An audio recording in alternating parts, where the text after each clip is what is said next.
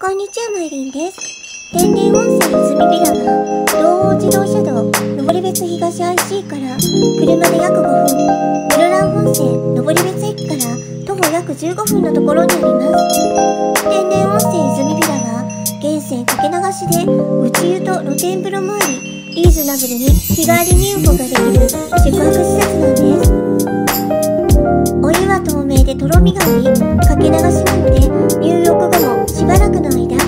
体がポカポカします。気持ちよかったです。